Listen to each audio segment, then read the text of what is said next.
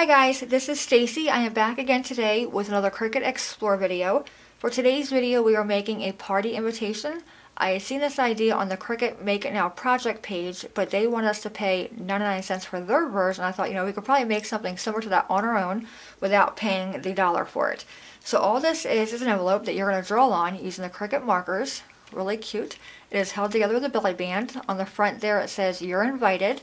Slide that off. On the inside it says to a party. So you're invited to a party. There's enough space here that you guys can write down party information. On the back I chose different party themed images, you know, like birthday hats, candles, presents, balloons to decorate the back side of the envelope. I like how that looks. And I just used the Cricut markers here. You know, you can change this for whatever occasion you want for the party. Uh, Christmas, the holidays, Thanksgiving, Halloween. Um, you can change the colors, make it multicolor. I just kept it really simple and chose just one color throughout. And it just closes back up with the belly band on front. Isn't that cute? Now the one thing you want to keep in mind when using this or making this project is your cardstock color choice. You don't want to go with a real dark color like a blue or a dark black or a dark purple because your images may not show through because you are drawing with them. And I did use the Cricut marker brand, um, the Cricut wine color. I liked how that looked against the pink. Really cute. And this is a good size envelope. It measures about about four and three quarters inches wide by four and a half inches tall. So really cute. And you of course can mail it out like if you want to like a traditional envelope, but I do like it with the belly band. Alright, let's go to the computer and get started. Okay, we're at the computer. Let's go ahead and go to the Cricut Design Space webpage. And we're going to log in the way we always do. Click on that green box in the upper left hand corner. Enter in your email and your password. And then once you see your name in that green box, that confirms you're logged in. You then want to go here where it says Create New Project. And then let that load for a moment. Alright, we're going to go on the gray, uh, gray toolbar, left hand side, click on Insert Images. It's going to bring up our image library. I'm under All Images. In the search box, I'm going to type in the word envelope. And all these images I'm using for this project are included in the subscription plan, so if you guys have that, you should be good to go. Alright, let me scroll down and find the envelope I used. right there and that is from the Creative Everyday Cards. Insert that image and I will have the complete file for download on my blog at designspace44 at blogspot.com as well as all the names that I've, of all the cartridges I've used. Alright, there's our envelope. Let's go ahead and go to the edit panel, have your envelope selected. the first thing we want to do is rotate our envelope so it's going the right orientation. So right here where it says rotate, click on that and enter the number 90, hit enter. Alright, now we're going to change our width and height. We want to unlock the lock that's connecting the two together. Click on the lock and you will see it open for you. And then since we rotated it, our width is now our height and our height is our width. So for the width here, I'm going to write in the number 9.82, hit enter. For my height, I'm going to put in 6.52 and hit enter. So there we have our envelope. I'm going to zoom out on my screen a little bit so I can see the entire envelope there. Alright, now I want to go back to Insert Images, where I'm still under All Images. In that search box, type in the word square. And since our envelope has rounded corners, I want my square to have rounded corners as well. Let me find one of those. And right there looks good. And that is from Home Accents. Click on that. We're going to insert the image. And I'm going to right click on it, hit ungroup.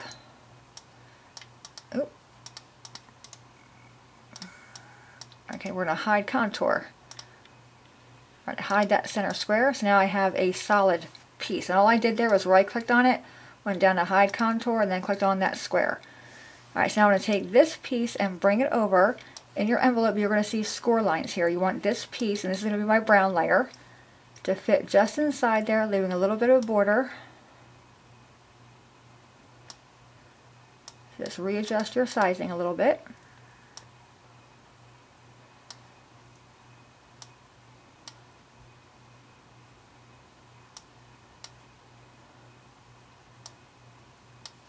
Alright, so the size of that piece when I go to my edit panel is width of 4.5, height of 4.17. Alright, I'm now going to take that one, hit copy it or go up top and hit copy, hit paste. So now I'm going to have two of them. Bring that one over. I'm going to change the color of this one. Go to your layer panel, find the square, change the color to, I want to do pink. I want this one to be a little bit smaller than that one, so to bring that one back over, and then just grab the corners again and make that one smaller, so we're making a mat. Okay, just like that. Looks good. Alright, now let's go back to Insert Images, and we're going to grab our lined paper. Under All Images, type in the word Lines, L-I-N-E-S. And we're going to scroll down until we find that lined paper, and it is from the cartridge uh, Simply Charmed, which is also in the subscription plan. And that is right there. Click on that, insert the image. It's going to appear there. I'm going to make this one really large because we're going to hide contour this. So there's our piece there. I'm going to click on it, right click on it, hit ungroup. I'm going to separate it and then take that black piece out of the way. And go back. Uh, while we're there, take these eyes out or the cheeks out, hit delete on that. Alright, let's go back to our shape here, right click on it, hit hide contour. We're going to hide the circles here for the binder. And then we're going to click on the eyes in here, the mouth, and then the cheek areas here as well. And you're gonna it's going to be kind of hard to go over that, but you'll know when you're on it because it'll highlight for you. I'm going to actually make this larger. Okay, so let's right click on it again, hit hide contour.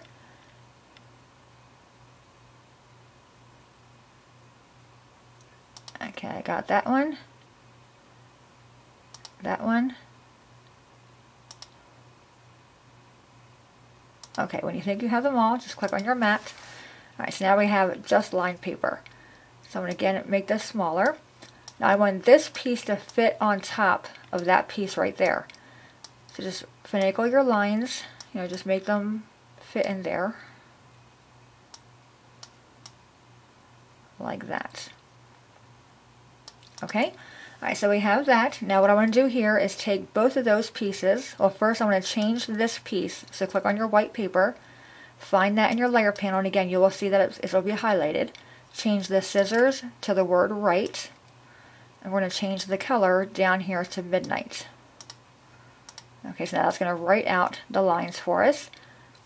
Let's go back to Insert Images, and we're going to grab the images for the envelope. So under all images here, go down to where it says My Image Sets, and then in the search box, you're going to type in the cartridge name, uh, Birthday Bash. That's where I got all the images at. All in one spot for you. Alright, there's the cartridge right there, and again, it is, it is a um, subscribed cartridge. Click on that, it's going to bring up the images in that cartridge, and we're going to find the pieces I've used. Alright, so we used a candle, a balloon, a present, so there's the candle. Click on that. Let's find the balloon, which is right there. You'll see it has a tag on it, not a big deal. We're going to ungroup those. Let's go down and find the scallop. And lastly is the present, which I believe is at the very bottom.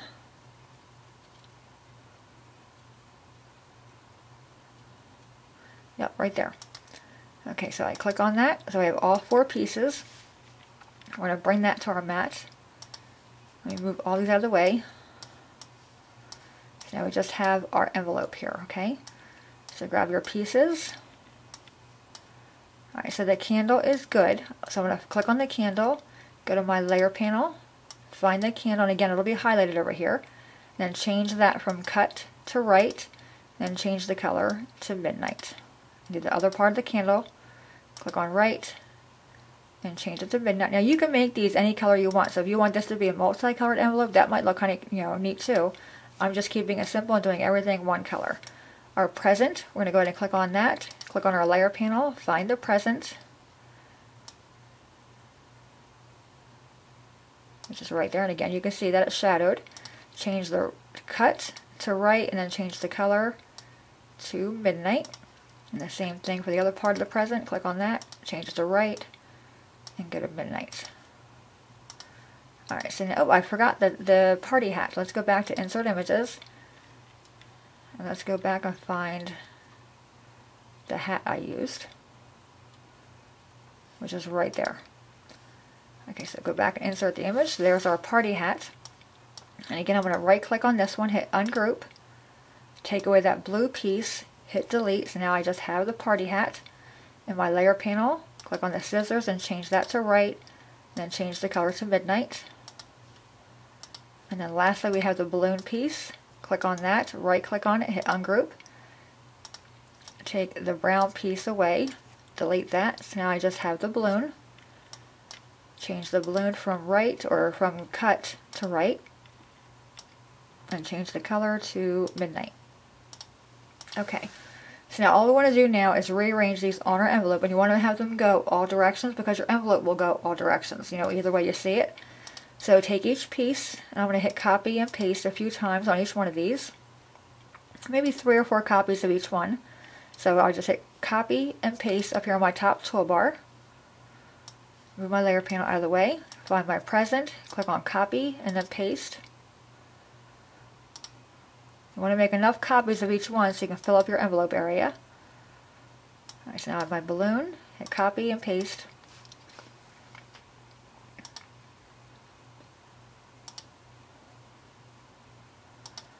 And one more is our candle. Click on that, hit copy, and then paste. And we may not use all these, but I'd rather do, you know, do it now, and then we can go back and delete them if we're not going to use them. Well, looks like I went ahead. So let this finish loading for us. And maybe stuck.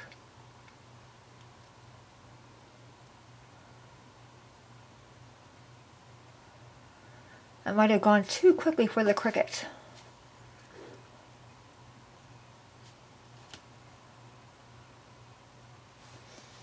Alright, there we go. I caught up. Alright, so hit copy and paste again with our candle.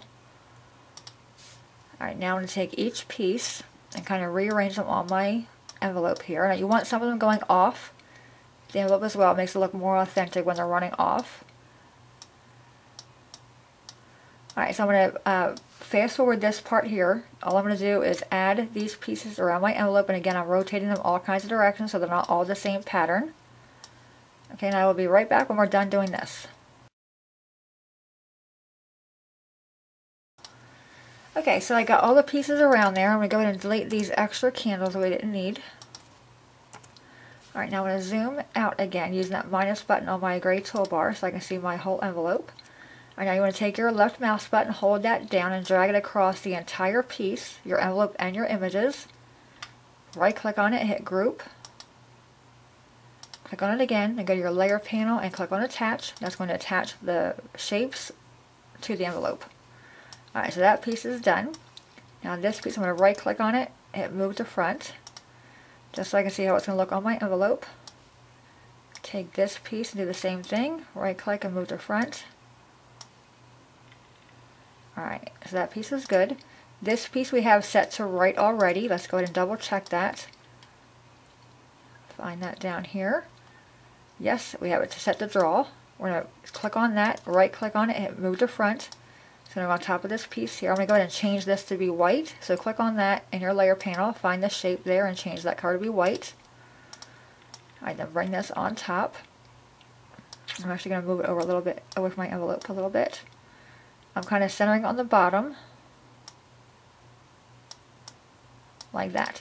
Alright, now we're going to go take our scallop piece, right click on that, hit ungroup. Actually, nope, I'm sorry, hit undo. We want to size our scallop first. So just, you know, kind of guesstimate. Uh, right now the scallop is 2.42. I think I had mine at 2. Let's go and change that to be 2 inches. Then hit enter. Alright, that is good to go. So now we can go ahead and right click on the scallop, hit ungroup, and then separate the two pieces and you'll see there's dots in those. So click on each one, hit hide contour, then go in there and click on the little dots. So we have a solid piece for our scallop and also a solid piece for our circle. So once again, right click on it, hit hide contour, click on the little shapes. There we go. Alright, that is good to go. I'm also going to change this piece of my scalp to white as well.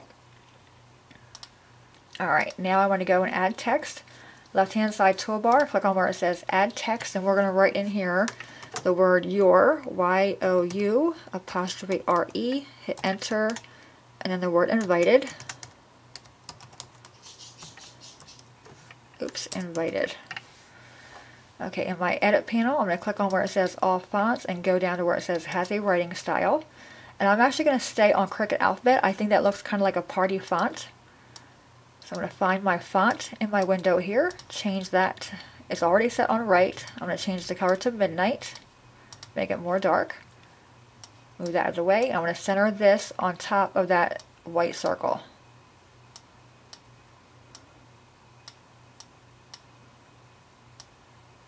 And then when you have it the way you like it, make it a little bit smaller there. Okay, when you have it the way you like it, take your mouse holding it down, drag it across the circle and the text, right click on it, hit group, then click on it again, click attach. That's going to attach the text to that piece. Now the only thing we need to do now is add our text down here. Go back to add text. In our text box, write the words to a party. And again, we're already on the writing style font. So I'm going to bring this down and put it on top of the white piece here. Okay, that looks pretty good. Take your mouse across all the pieces, right click on them, hit group, click on it again, and click attach. Alright, so now we were to go to cut this out now, we're going to have a bunch of pieces here. Okay, we have our envelope piece, our brown piece, the white piece, our white, and our other piece here. I'm actually going to click on one of these and go to my sync window. And I want to make all these the same color besides my envelope. So my envelope is here. That'll go on one piece of cardstock. My All the other ones can go on the same. So just click on it there, drag it to another color, and you'll see them all change to be white. So if I go and hit go, my envelope will be on one mat, and the other pieces will be on the second mat.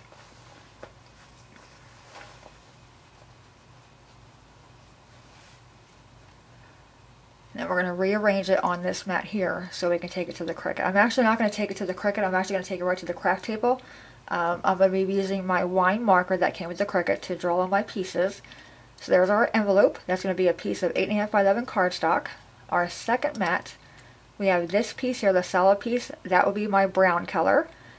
This part here and this part here where the writing is will be white. So I'm going to bring this piece down.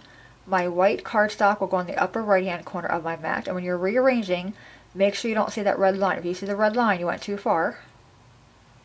Take this piece as well, bring that by my white. So my second mat will look like that. Uh, my brown piece of cardstock, my white piece of cardstock, and my pink piece of cardstock, or the same color as your envelope. I'm going to go ahead and hit go. It's going to do our envelope first. We're going to go ahead and load that in there.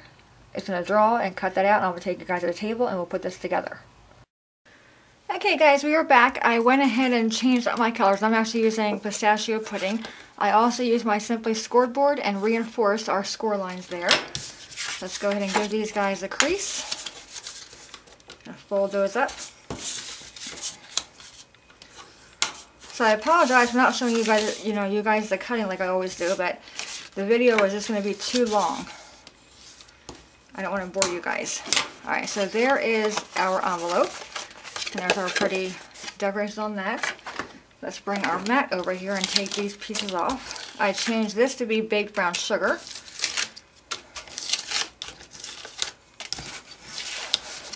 That one. Alright, so we have all those pieces. Now what I'm going to do is take my scallop and my little high-tech tool here, which is just a piece of foam and a thumbtack.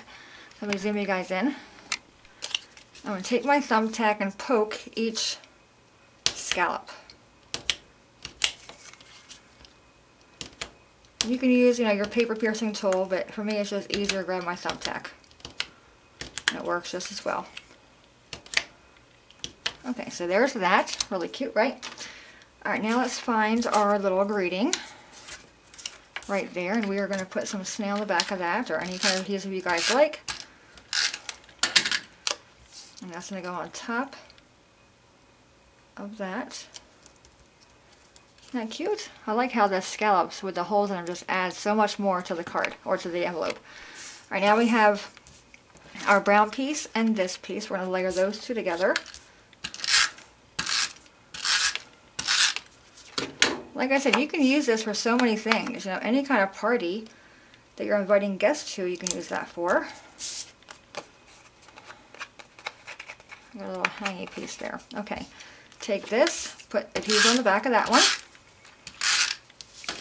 I'm going to put that in our envelope. And it fits in there really nicely. We probably could have went a little bigger on this piece, but I think we're good. Okay, so there's that inside that. So we're going to close this up and close that up and close that up. Oh, that is too cute. All right, now to close that up with our belly band, I took a piece of the Baked Brown Sugar uh, Designer Series paper stack. This is one and a quarter by 12. And what I'm going to do is kind of fold this up. Start with the back. And then bring it around, fold it over. Don't crease it. Just lightly fold it. And then bring this one up. And again, you don't want to crease these, just, you know, lightly fold them up. Kind of fold that over, I'm going to cut it. Take that off and cut. I'm going to put some adhesive on the back of this one. Alright, same thing, we're going to bring that back over. Bring this up, this piece up here. And this piece down. Easier said than done. Lining it up like that. Like I said, you don't want to go too tight on it. Okay, so let's take it off. I'm just going to flip it over so the my seam is more towards the top. Okay, so bring this back in. Gonna push it down so that'll keep our envelope closed. Take your scallop piece and your adhesive and put that where the seam meets so you can hide that with this piece here. Okay, look at that. How cute is that? Love it. Okay, that's going to take that off. So there you have it, to a party. And like I said, there's plenty enough room there for you guys to write in, you know, RSVP stuff. And I like that they can put it on the fridge. They can use a magnet up here and they can write down what they're going to bring. Like maybe it's like a potluck party or a housewarming party. They can write down things they're going to bring there or uh, present ideas for the birthday party person. Really fun. Alright, so there you have it, guys. Today's little project. Really cute. There's one of the pistachio pudding, and then we have it there in the uh, pink pirouette. Any questions, let me know. And once again, if you like the video, please thumbs up. It does help me out. All the files for this will be on my blog at designspace44.blogspot.com. The link will be in the, in the description box. As always, thanks so much for watching. Have a great day, and I'll see you guys next time. Bye-bye.